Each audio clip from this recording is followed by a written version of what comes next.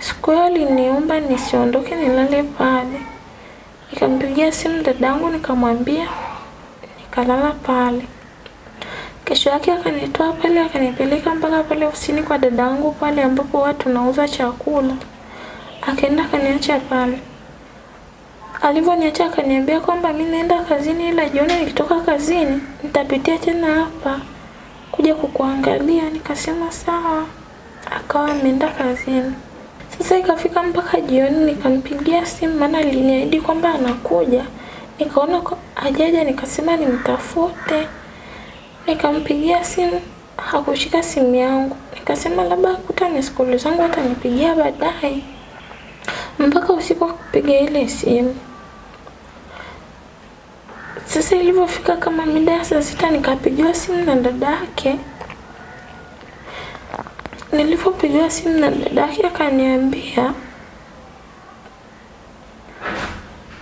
kwamba amefariki. Pole. Pole sana. Jikaze.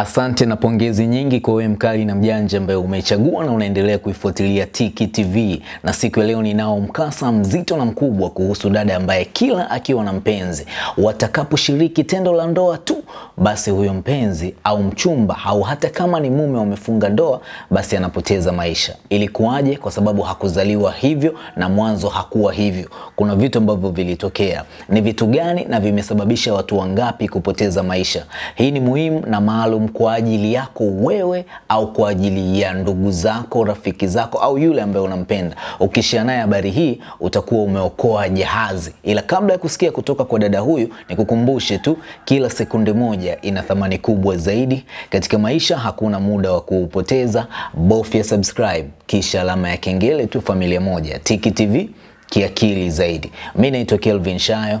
Jina lake hatutaweza kulitaja na sura yake hatutoweza kuionyesha, ni kwa sababu tu ya ukubwa na uzito wa tukio lenyewe na yale ambayo anayapitia na ambayo tayari kashayapitia. Tunakwenda moja kwa moja kusikia kutoka kwake. Habari, Safi. pole kwa changamoto ambazo unapitia. Asante, shapo.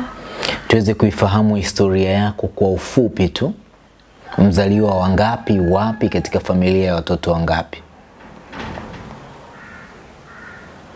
Mi ni mzaliwa wa pili katika watoto sita, na mi nimezaliwa Moshi, lakini pia nimekulia da kidogo, nikarudi tena Moshi nikiwa mtoto, alafu ndo nikatoka Moshi nikiwa nimemaliza form 4 nikaja tena huko da Form 4 umemaliza mwaka gani? Elfu mbili kumi na sita. Twende moja kwa moja katika mkasa wetu, ilikuwaje? Baada ya kumaliza form 4 sikufanikiwa kuendelea na form 5 na 6. Kwa hiyo nikawa nimetoka kule Moshi nikawa nimekuja huku Dar kwa sababu kuna dadangu alikuwa anafanya kazi, alikuwa na ofisi yake ya mama ntilie, alikuwa anapika chakula hapa. Kwa hiyo akawa ameniambia kwamba njoo huku da, uje unisaidie kwa ajili ya kupika chakula. Basi nikawa nimetoka kule Moshi ndo nikawa nimekuja huku da. Nikafika kweli pale, alikuwa anafanya kazi pale Magomeni, ndo alikuwa na huo mgahawa wake hapo anafanyia kazi. Baada ya kufika pale, nikawa nahudumia tu vizuri, nikafanya kazi muda muda kidogo, nikaanza kuzoeana na wateja. Sasa kulikuwa kuna huyo baba alikuwa anapenda sana kuja kula pale, na alikuwa kila akija kula anataka mi ndo nimhudumie. Kwa hiyo mi nikawa naenda kweli namhudumia, nikimhudumia naniachia pesa kidogo, aniambia na hii hapa itakusaidia kwenye mambo yako madogo madogo, na mi nikawa naichukua kweli, nafanyia mambo yangu inanisaidia. Siku zikazidi kwenda, mimi hata nilikuwa sijui chochote kuhusu yule mbaba ana mpango gani na mimi. Siku zilivyokuwa zinazidi kwenda, yule mbaba akaniambia mimi nakupenda na nataka nikuoe. Mimi nilikuwa nakataa kataa kwa sababu alikuwa tu ni mtu mzima sana.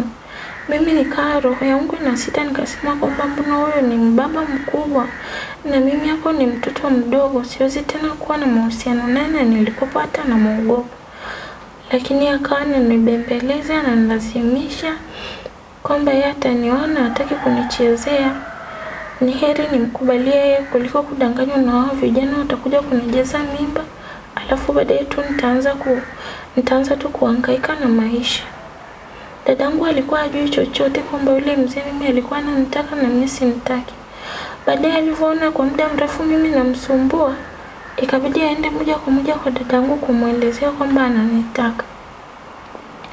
Alipofika kwa dadangu pale, akaenda akamwambia, akaambia kwamba huyu mdogo wako mimi nampenda na mimi hapa sina lengo baya naye, nataka nimwoe, nimfanye awe mke wangu kabisa, nimweke ndani. Basi dadangu alivyoambiwa hivyo, na alikuwa anamwona yule mzee ana pesa, anakuja pale na magari tofauti tofauti mazuri, akaja akanishauri, akaniambia, mdogo wangu, kwani usimkubali yule mzee kwa sababu anaonekana na pesa, na ukimkubalia utaishi maisha mazuri kuliko kuendelea kukaa unahangaika au nataka hao vijana wenzio na vijana wenyewe tu wanachezea na wanakuacha. Mkubalie huyo mzee kwa sababu ni mtu mzima, hawezi akakufanyia hawezi kufanyia kitu kibaya na utaishi vizuri. Basi dadangu alivyoniambia hivyo, mimi nikakaa kweli, nikatafakari sana, nikasema acha tu nikubali kuwa na huyo mzee anio, yani anioe, alafu mimi nitatafuta mtu mwingine ambaye ni kijana ambaye nitakuwa naye pembeni, kwa sababu huyo ni mzee sana. Kweli nikakubaliana naye, nikamkubalia dada yangu. Dada yangu akaenda akamwambia. Baada ya kumwambia, akaja. Alivyokuja akasema basi tupange siku ya ndoa. Kweli ile ndoa ikawa imefanyika, lakini kimya kimya, bila ndugu wote kujua kilichokuwa kimeendelea huko. Bila hata wazazi. Ndio, bila hata wazazi kujua kwamba mimi huko nime, nimeolewa. Na mimi nilibadilisha mpaka dini nikawa Muislamu, alafu nikaolewa. Baada ya hapo nilivyoolewa, nikatoka huko nilipokuwa nikikaa tena kwa dadangu, nikahamia kwa huyo mzee. Wapi? Ni kule Magomeni kwa mbele kidogo, sio mbali na pale kwa dadangu. Nikafika huko nikahamia kwenye hiyo nyumba. Baada ya kuhamia kwenye hiyo nyumba, maisha yakaanza kuendelea nikiwa pale. Yule mzee alinifungulia saluni ambapo mimi ndo nilikuwa ninafanyia biashara pale. Nikawa napata wateja tu, biashara yangu ya saluni ikawa nzuri, nikawa naingiza pesa japokuwa sio nyingi sana, lakini maisha yanaenda. Siku zikazidi kwenda, kuna siku nikawa nimekutana na rafiki yangu ambaye tulisomaga naye shule, tulimaliza naye form 4, alikuwa wa kiume. Yule yule kaka alikuwaga ananipenda tangia shuleni, alikuwa ananitania tu. Mchumba wangu akiniona ananitania hivyo tu kishule shule. Kwa hiyo nilivyokutana naye akaniambia, saizi tumeshakuwa wakubwa, unajua mimi nilikuwa nakupenda tangia zamani. Mimi nikaa mimi nikaa siamini, nikaambia mimi ule nilikuwa najua tu ni utani. Akaniambia mimi kweli nakupenda na mimi ninataka tuwe pamoja, kwani wewe unasemaje juu ya hilo? Basi mimi nikawa nimemkubalia tu, tukawa tupo kwenye mahusiano naye huko, nikiwa tayari nimeshaolewa na ule mzee na nakaa kwa yule mzee nyumbani kwake. Basi siku zilienda, mimi nikiwa na mahusiano na yule kaka bila ya yule mzee kujua chochote. Tukawa tumeendelea tumeendelea. Sasa siku hiyo akawa huyu kaka kama ameniambia tutoke twende mahali. Kweli tukawa tumetoka tukaenda mahali. Tulipofika huko mahali, akaniambia wewe ni mchumba wangu, tumekaa kwenye mahusiano kwa muda mrefu, sasa kwa nini hautaki kuwa na mimi? Huko mahali mlikoenda ilikuwa wapi? Huko mahali tulienda ilikuwa ni guest. Mhm. Basi tulivyofika pale, tulikuwa kwanza tumekaa nje, hatukuingia ndani moja kwa moja. Alikuwa ananiomba tuingie wote, mimi nikawa nimemkatalia. Baadaye akawa amenisii sana, kaniambia tangia siku nyingi tupo wote, sasa kwa nini unakuwa unanikatalia hivyo? Na kati mimi tayari nimeshakuwa mtu wako wa karibu. Basi tukawa tumeingia kule ndani, Baada ya kuingia kule ndani tumelala, ghafla tukasikia ule mlango kama unagongwa. Kwenda kufungua mlango nikamkuta ni yule mzee. Akaingia ndani akasema, yaani wewe mimi nakupa kila kitu unachokitaka na bado unanifanyia mambo kama haya. Wewe mtoto ukoje? Kwa nini una tabia mbaya? Mzee huyo ni huyo ambaye kakuoa sasa. Ndio. Mhm. Akawa pale amesema akasema na kuonya kuanzia leo wachana na huyu kaka. Akamwambia na yule kijana akamwambia ukija kurudia tena kitakachokupata utajua mwenyewe mimi hakitanihusu. Akaniambia na mimi iwe leo ndo mwanzo na mwisho kutoka tena na huyu mkaka wala na kijana mwingine yoyote usije ukasubutu kabisa. Akanichukua pale tukapanda kwenye gari yake tukaondoka tukarudi nyumbani. Tulipofika nyumbani alinipiga alinipiga makofi. Akaniambia mimi nilikuchukua kule kwa dadako unaona maisha yenyewe ni ya tabu. Nimekusaidia hapa nimekuweka hapa lakini bado unakuwa kama unahangaika unahangaika na nini? Mimi nikamwambia mimi nilikukubalia nili- nilikukubalia tu lakini na mimi nahitaji nipate kijana mwenzangu. Kwa sababu pia na yeye ni mzee na hadi una watoto wako na una wajukuu na mimi kama mjukuu wako sasa kwa nini utaki na mimi niwe na mtu mwingine ambaye ni kijana mwenzangu alinikaripia sana akaniambia wewe marufuku kuongea na huyo kijana wala kukutana naye tena kwa namna yoyote ile. Nikija kukuona nafanya hivyo, kitakacho kutokea utajua mwenyewe, mimi hakitanihusu kitu chochote tena. Basi maisha yakaendelea huko, siku zinazidi kwenda, mimi nikawa nawasiliana na yule kijana kisirisiri bila yeye kujua kitu chochote ambacho kinaendelea. Siku hiyo tena tukawa tunakutana na yule kijana, wakati nimetoka nyumbani nikaenda saluni nikatoroka pale saluni nikaenda kule kuonana na yule kijana. Nikawambia pale nilikuwa pale saluni na wadada wawili ambao nafanya nao kazi. Nikawambia kama akipiga simu mwambieni yupo ameenda kula chakula au singizeni kitu chochote kile. Wakasema sawa mimi nikawa nimetoka. Nikaenda kweli nikaenda kuonana na yule kaka. Tukatoka tukwenda sehemu ile ile tukabadilisha. Tukaenda sehemu nyingine huko tukaenda tukajificha mbali kabisa ambapo mtu awezi akatuona. Basi tulivyofika kule nikawa nimelala na yule kaka siku hiyo. Nikatoka nikarudi pale saluni na alikuwa ajui chochote kile basi nilivyotoka pale saluni nikarudi nyumbani nimejikausha na ninajua kabisa kwamba hawezi kujua kitu chochote ambacho kinaendelea sasa alivyorudi kutoka huko kazini kwake, amerudi yani kama mtu mwenye hasira na mimi. Utafikiri vile mtu anajua mimi nilichokifanya. Mi nikawa najitahidi kujikaza, kujificha ili asielewe. Akawa ananiangalia ni tu anaonekana kama ni mtu ambaye hayuko sawa.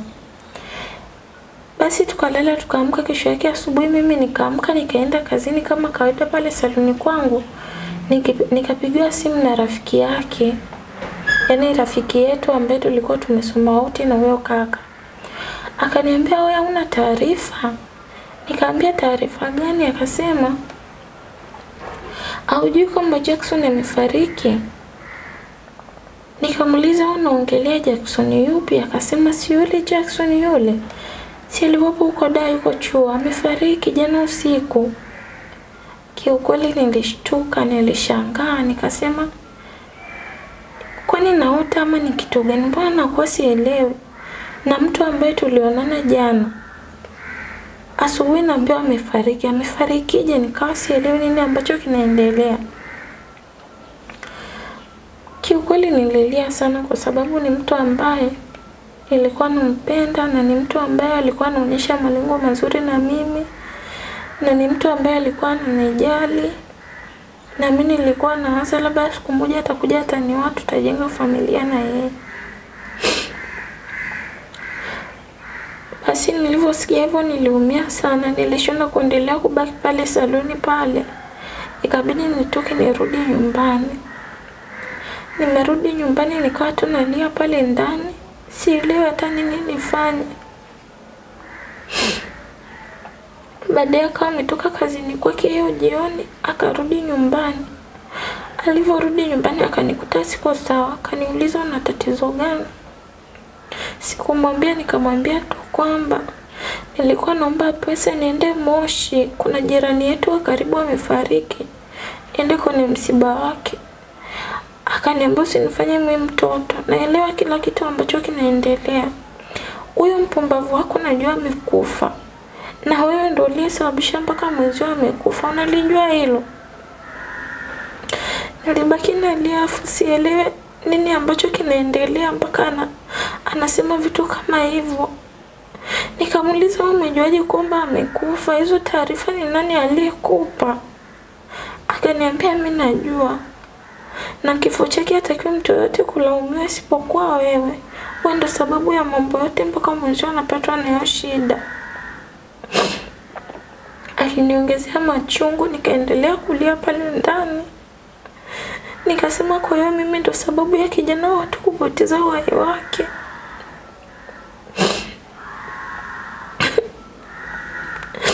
Pole. Pole sana.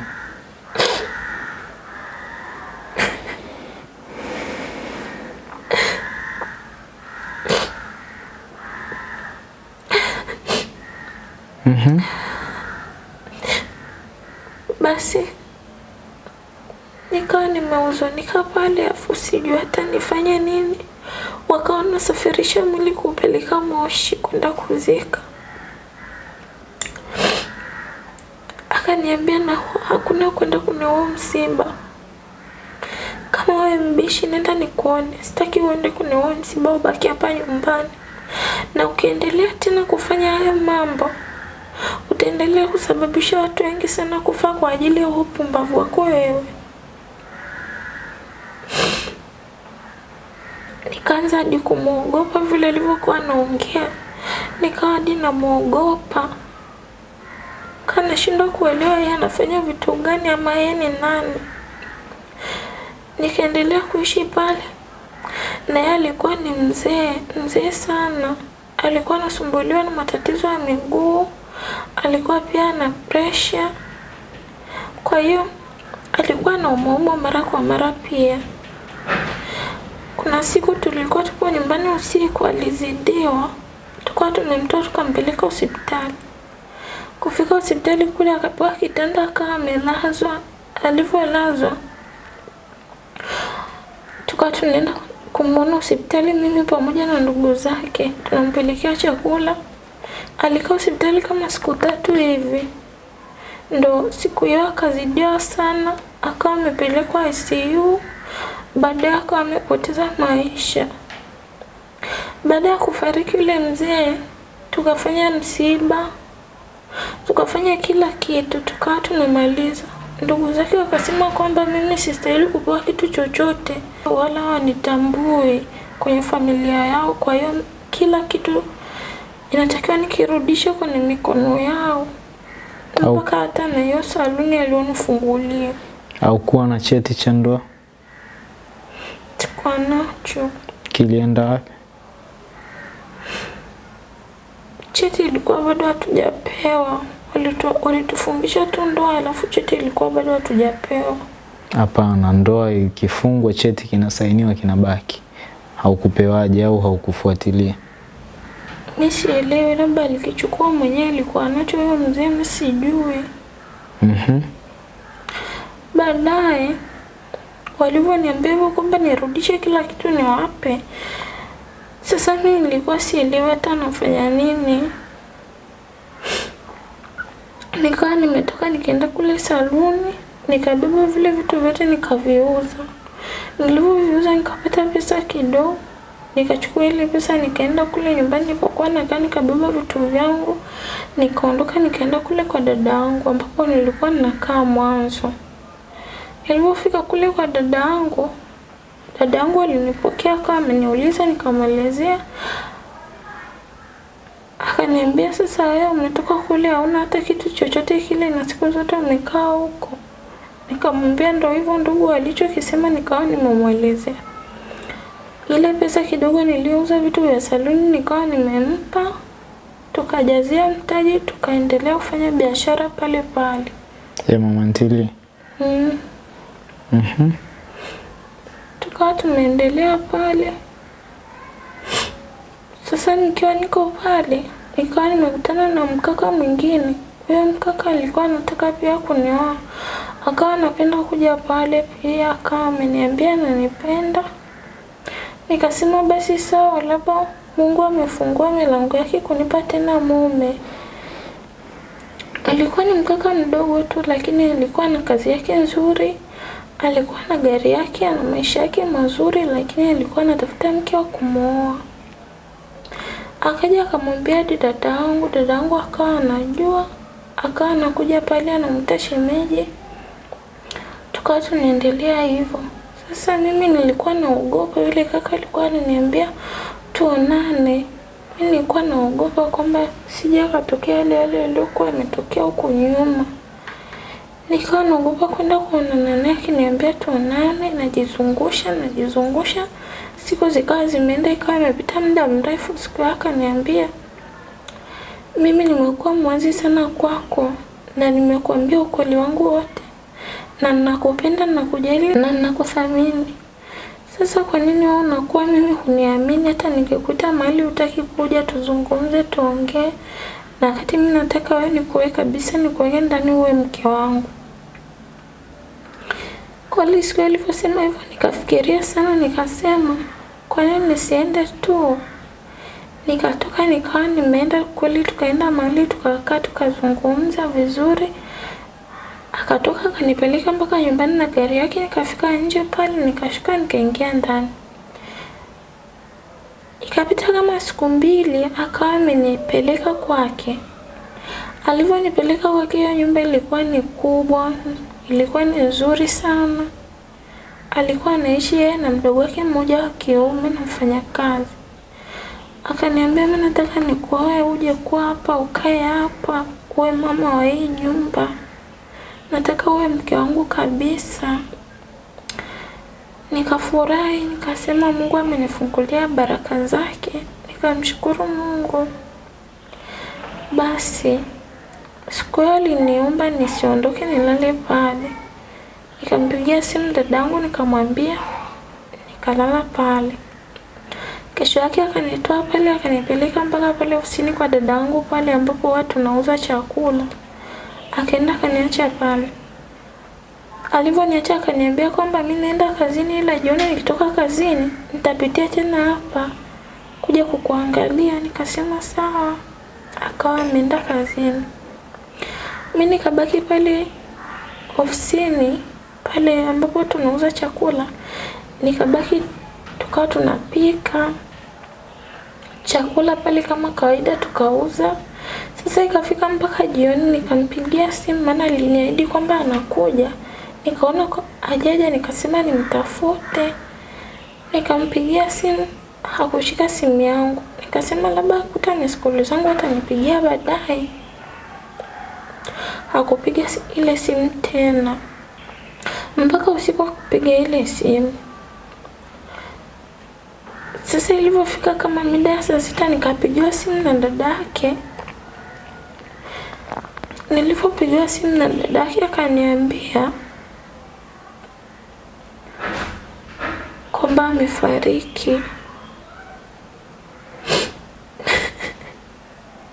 Pole. Pole sana. Jikaze.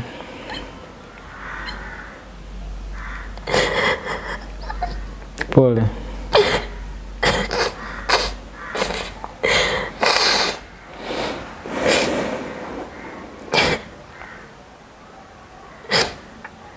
Pole kwa changamoto na mitihani hiyo.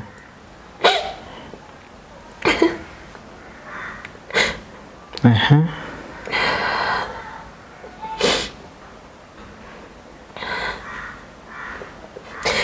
Basi nikamuuliza, nikamwambia kwa nini, nini ambacho kimetokea jamani?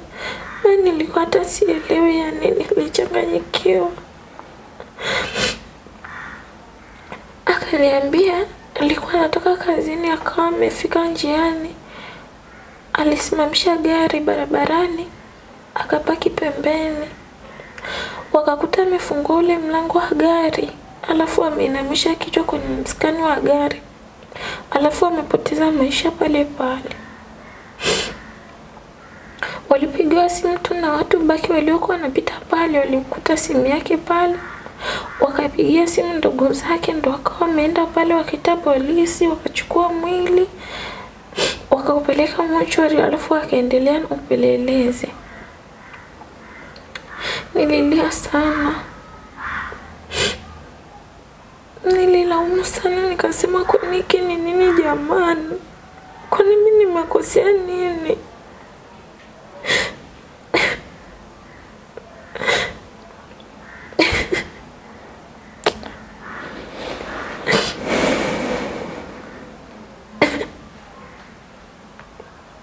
Jitahidi usilie, pole.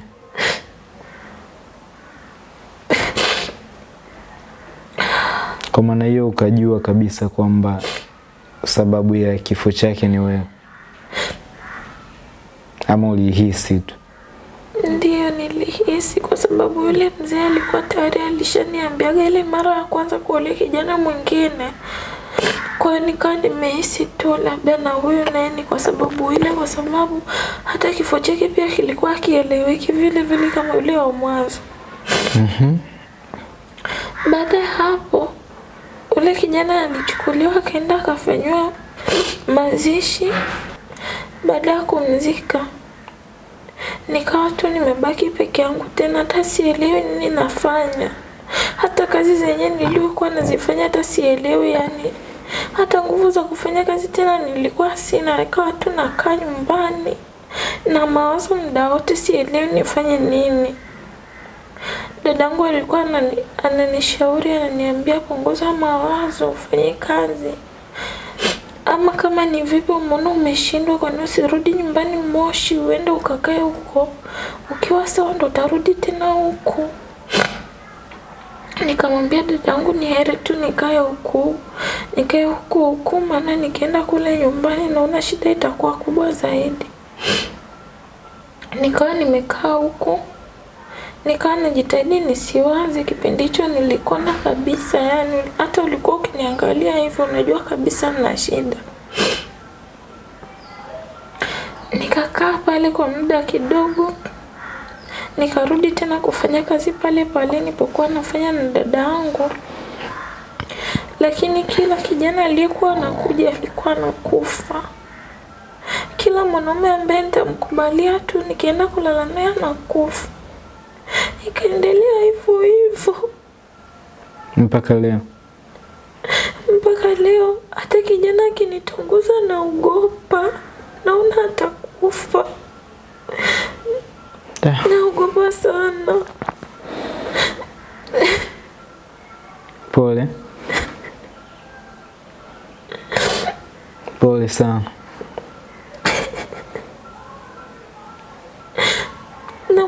Mnisaidia, kama kuna mtu anaweza akanisaidia jamani, nitamshukuru tu.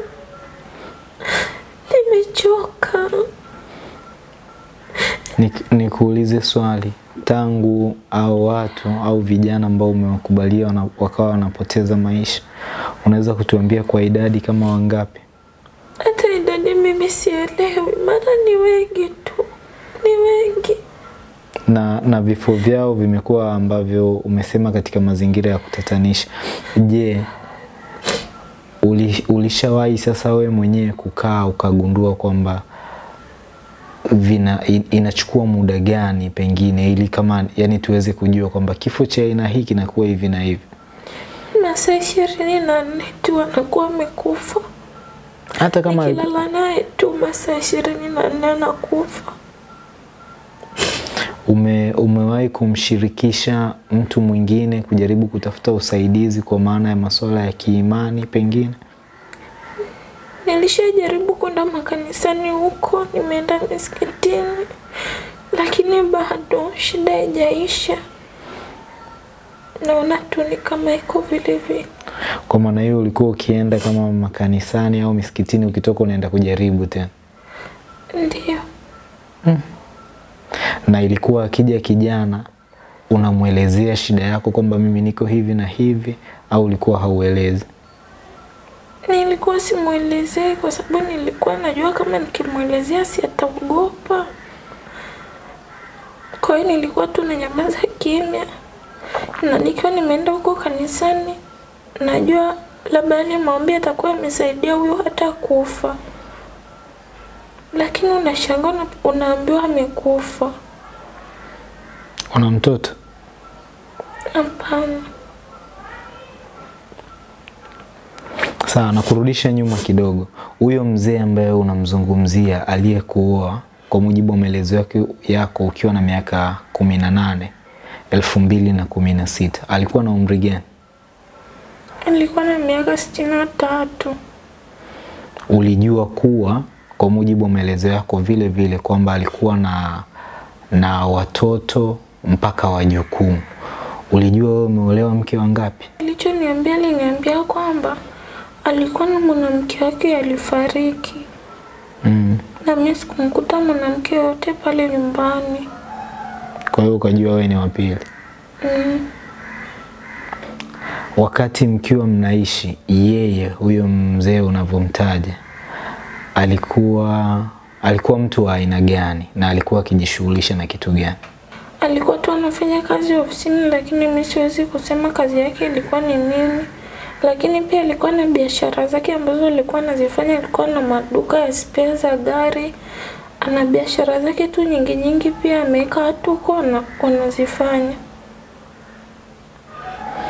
Na wakati vinatokea kama kile kifo cha mara ya kwanza ulichokitaja, uliwahi kumuuliza kwamba wewe umejuaje? Nilimuuliza nikamwambia, umejuaje kwamba huyu kijana amekufa? Yeye alichonijibu akaniambia kwamba mimi nilishakwambia wewe, hata watu kufa ni kwa sababu ya wewe, ndio uliyesababisha. Wewe ndio unayetakiwa kupata hizo lawama zote, sio mtu mwingine. Sasa ulikaa ukafikiria au ukazungumza naye kwamba wewe unasababisha vipi wale watu wafe? Mi sikuwahi kumuuliza kwa sababu alikuwa ni mkali pia nikimuuliza. Kwa hiyo ilikuwa tu anaongea hivyo mara nyingi, lakini kumuuliza anakuwa ni mkali sana. Nasema nimekwambia tu wewe uache na usiniulize zaidi, nishakwambia wewe ndo unayesababisha watu kufa, na usiendelee, na ukiendelea na watakufa zaidi. Ndoa mlifunga mwaka gani? elfu mbili kumi na saba Yeye alifariki mwaka gani? Alifariki elfu mbili kumi na tisa. Baada ya kufariki unasema kwamba ikatakiwa wewe uondoke na kila kitu ukiache.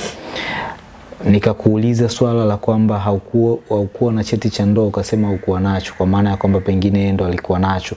Haujanielewesha vizuri hapo, sijaelewa. Lakini pia hakukuwa na wale mashahidi wa ndoa, ukawatafuta kwamba mimi ni mke halali wa bwana fulani, kwa maana hiyo nina haki fulani stahiki kama kama mke au aliyekuwa mke, kwa sababu wakati huo tayari yeye ni marehemu. Nilichokisema hata wale ndugu siku wamekaa kikao, walisema kwamba ningekuwa ninastahili kupewa kitu chochote ni mpaka ningekuwa na mtoto na yule mzee, kwa sababu sina mtoto naye. Kwa hiyo mimi tu niende, wananiruhusu niende nikaolewe huko, nikaolewe na mwanaume mwingine, kwa sababu sina mtoto nao wala chochote kinachohusu wenyewe. Lakini sheria za ndoa haziko hivyo. Mke wa ndoa ana haki zake, hukufuatilia tuseme, au tu na wewe haukuwa unayataka yale maisha tena. hata kama ningefuatilia, wale ni watu ambao na wana sheria wao na ni watu ambao wana pesa. Sasa mi ningefuatilia, ningetoa nini na sina chochote? Unajua, unaweza ukaangalia tu familia nyingine ukasema, hata kama ukijaribu kufuatilia labda vitu, ni wewe tu unapoteza muda. Huko ni kutokuijua sheria, pengine ungefuatilia ingekuwa sawa. Wakati ukiwa na ukiwa pale umeolewa, haukuwa na urafiki, ukaribu wowote na watoto wa huyo mzee? Watoto wa mzee wengi hawakai hapo karibu, wengi wanaishi mbali. Kwa hiyo walikuwa wanakuja tu mara moja moja pale kumsalimia baba yao hivyo. Huyo mzee alikuwa mtu wa wapi? alikuwa ni mtu wa Zanzibar. Sasa mimi najiuliza, wewe unahisi ni kitu gani kilifanyika mpaka wewe umekuwa hivi? Mimi nilichofikiria, nafikiria kwamba yawezekana huyo mzee kuna kitu alienda kufanya, labda labda aliniekea dawa, yaani kuna kitu tu atakuwa amefanya huko, yaani labda ameniekea dawa fulani au kuna kitu fulani alikifanya kwa ajili yangu au matambiko fulani, nahisi hivyo. Haijawahi kutokea ukazungumza naye akakupa labda au akakwambia siri yoyote kipindi cha mwisho cha uhai wake alipokuwa anaumwa, hakuwahi kukwambia chochote? Hakuwahi kuniambia chochote, ila tu kipindi akiwa mzima ndo alikuwa ananiambia kwamba wewe ndo unayesababisha watu kufa, kaa utulie, mi nakwambia. Unavyoendelea hivyo kuwa nao vijana, wewe ndo unawasababishia wenzio matatizo. Umesema ndoa ilifungwa elfu mbili na kumi na saba. Mm, form 4 umemaliza elfu mbili kumi na sita. Ndiyo, ukiwa na miaka kumi na nane. Ina maana elfu mbili kumi na saba una miaka kumi na tisa. Wewe una miaka kumi na tisa ukakubali kuolewa na mzee wa miaka sitini na tatu. Sio kwamba mi nilikubali kuolewa, ila dadangu alini- alinishawishi akaniambia niolewe tu, kwa sababu vijana wenyewe wanaweza wakakuchezea na bado wakakuacha. elfu mbili kumi na saba hiyo mpaka elfu mbili kumi na tisa huyo mzee anafariki dunia, hamkuwa mmejaliwa mtoto. Ni wewe ulikuwa hutaki kupata mtoto, kwa maana ya kwamba ulikuwa unatumia ujanja ujanja, kwa sababu umesema ulikuwa unataka uwe naye alafu uwe na kijana mwingine wa pembeni. Je, hapo palikuwaje? Sio kwamba mi ndo nilikuwa sitaki kuwa na mtoto na huyo mzee, ila yule mzee mwenyewe alikuwa hayuko vizuri kiafya, alikuwa anaumwaumwa, labda nafikiri ndo maana hata alikuwa hawezi kunipa mtoto. Pia na umri wake pia ulikuwa ni mkubwa sana. Miaka sitini na tatu sio umri mkubwa hivyo kwa mzee kushindwa, sijui, lakini labda pengine kwa wataalamu wa masuala ya kiafya watatusaidia. Yes, kwa sababu mimi ninachokijua ni kwa kuna, kuna ukomo huo kwa upande wa, wa kina mama. Kwa yote uliopitia mpaka hivi leo, ni nani na nani ambao wanajua tatizo hili ulilonalo? Ni dadangu anajua, nilishamwambia. Alikuambia nini baada ya kumwambia? Aliniambia tu akasema itakuwa ni yule mzendo aliyokufanyia wewe mpaka leo unateseka hivyo. Mm. Ndiyo. Kwa maana hiyo haku, hakuna njia nyingine yoyote mbadala mliojaribu kuitumia kujua ni nini chanzo ni na inakuwaje na nini kifanyike? Dadangu alishanipeleka kanisani, tukaenda kule tukaombewa, tukapewa maji, tukapewa mafuta, lakini hakuna chochote ambacho niliona kimebadilika. Pazito hapo, mtazamaji unayefuatilia Tiki TV, unaweza uka, uka, ukapata picha na ukajifunza au ukagundua kitu. Hii ni muhimu na maalum kwa ajili yako wewe au kwa ajili ya ndugu zako, rafiki zako au yule ambaye unampenda. Ukishia naye habari hii utakuwa umeokoa jahazi. Nikukumbushe tu, kila sekunde moja ina thamani kubwa zaidi katika maisha. Hakuna muda wa kuupoteza. Bofya subscribe kisha alama ya kengele tu. Familia moja, Tiki TV, kiakili zaidi.